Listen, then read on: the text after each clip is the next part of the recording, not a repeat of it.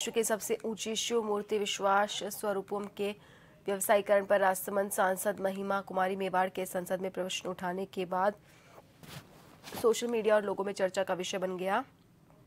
सांसद ने धर्म के व्यवसायीकरण पर कड़ी आपत्ति जताते हुए कहा था कि शिव मूर्ति में मनोरंजन या व्यवसाय का केंद्र नहीं बनाना चाहिए। उन्होंने कहा, शिव मूर्ति में लिफ्ट लगाना, जूते चप्पल पहनकर जाने से धार्मिक भावनाएँ आहत होती है। इसलिए केंद्र और राज्य सरकार से अनुरोध है कि ऐसे स्थलों को सिर्फ़ धार्मिक रूप में ही रखा जाए।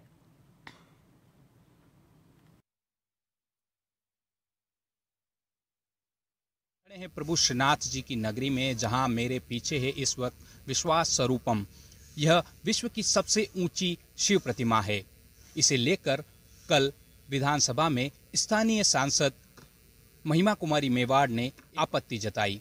महिमा कुमारी मेवाड़ का कहना है कि इस प्रतिमा के अंदर जूते चप्पल ले जाना और इसका व्यावसायिक करना धर्म का व्यावसायिकरण है और ऐसा नहीं होना चाहिए। हालाँकि इसे दूसरी तरीके से देखा जाए तो इस मूर्ति से न सिर्फ़ इस क्षेत्र का, बल्कि आसपास के कई ग्रामीण क्षेत्रों में भी रोज़गार के अवसर बढ़े हैं। और दूसरी तरफ़ यहाँ आने वाले पर्यटकों की संख्या में भी काफ़ी इजाफा हुआ है।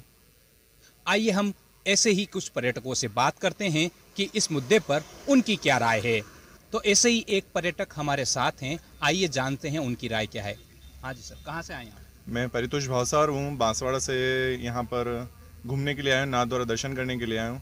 तो विश्वास स्वरूपम के बारे में काफ़ी अच्छा गूगल पे और इसमें पढ़ा है तो देखने के लिए आए हैं। विश्वास स्वरूपम जो मंदिर है लोगों की आस्था से जुड़ा हुआ है। अगर लोगों की आस्था के लिए काफ़ी अच्छा है मंदिर है। पॉजिटिव वाइब्स हैं यहाँ पे और काफ़ी अच्छा डेवलपमेंट किया है यहाँ पे। आप बताइए आप कहाँ से आए हैं? उदयपुर से आया हूँ प्रकाश रेवारी नाम है। तो आपको क्या लगता है इस मूर्ति के बारे में? जी जो शिव जी की जो मूर्ति है ना उसके ऊपर तो अपन पैर नहीं दे सकते हैं। ये तो सरासर गलत है। जो अपन ऊपर पैर लेके चल रहे हैं वो तो गलत है।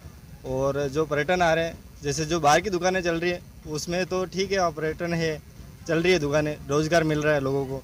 सांसद ने जिस प्रकार से संसद में यह प्रश्न उठाया है, उसके बाद आगे क्या कार्रवाई होती है? कुलदीप शर्मा, जन टीवी, नाथ द्वारा।